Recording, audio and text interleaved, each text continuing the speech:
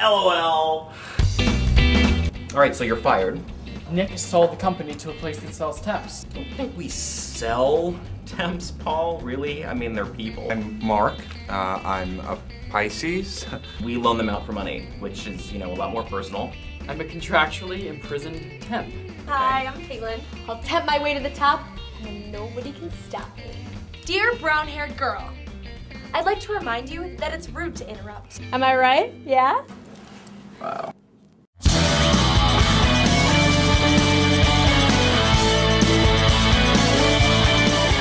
Commodity staffing, you're not just a number, okay? You are a number with a name.